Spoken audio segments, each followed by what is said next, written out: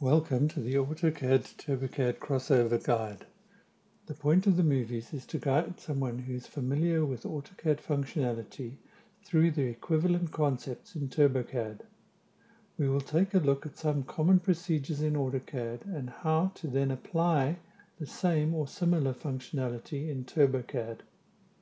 The products that we will be using in this demonstration are AutoCAD Architecture version 2016 and TurboCAD Pro Platinum 2017, although most of the features that we will show are also available in TurboCAD Deluxe 2017. The first thing that we should discuss are the similarities in the interface between AutoCAD and TurboCAD. AutoCAD uses this ribbon interface, which is essentially a collection of similar functioning tools. If you see the drop downs, you click and hold, and then it opens up all the line tools and likewise on the different arc tools that are available. Now TurboCAD works in the same way in that each of these groups is a drop-down indicator allowing you to open that set of tools by clicking and holding on the tool. If you hover over a tool you will get the name of the tool. You can also access tools through the Tools palette by firstly right-clicking in the grey area to open the Customize dialog or you could click the Customize Controls Gear button the top left corner. In the TurboCAD dialog, you can see there are a wide range of different palettes. Comparing this to AutoCAD that makes extensive use of palettes that can be dragged around and docked on the different sides of the screen. Typically, the palettes can be undocked by dragging the title bar into the middle of the screen. In TurboCAD, you have similar functionality where you can open the palettes that have been docked on the right-hand side the auto hide option will allow you to force the palettes to stay open and docked on the right hand side. You can then change the active palette by clicking the title bar at the bottom. These palettes can also be dragged and docked on different sides of the screen or possibly on a second screen.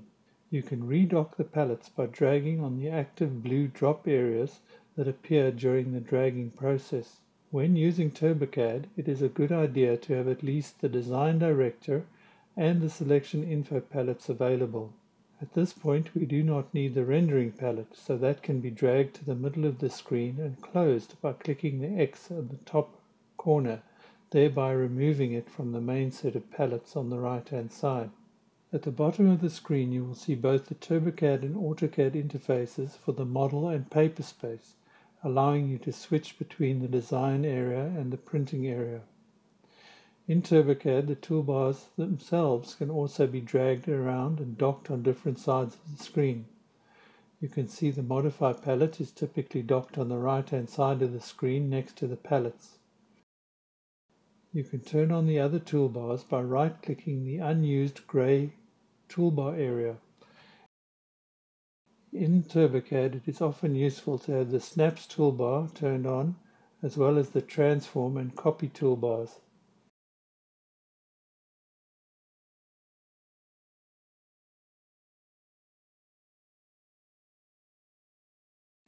Then these newly turned on toolbars can be dragged and docked in the available space at the top of the screen. So in summary, the interface works in a similar way with palettes and workspaces that can be opened and closed and docked on different sides of the screen.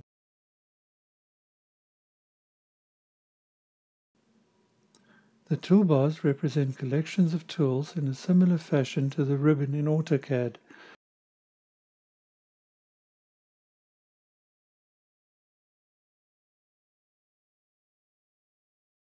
Additionally, in TurboCAD, there is a Tools palette which provides similar functionality by grouping together sets of similar tools. It is sometimes useful to switch the display mode to be icons and full prompts in order to get a full description of the functionality of each tool.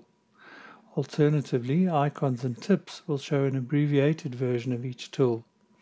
At the top of the palette, you can switch between the different groups of tools in a similar fashion to the different ribbons in AutoCAD. This palette is particularly useful for browsing most of the tools that are available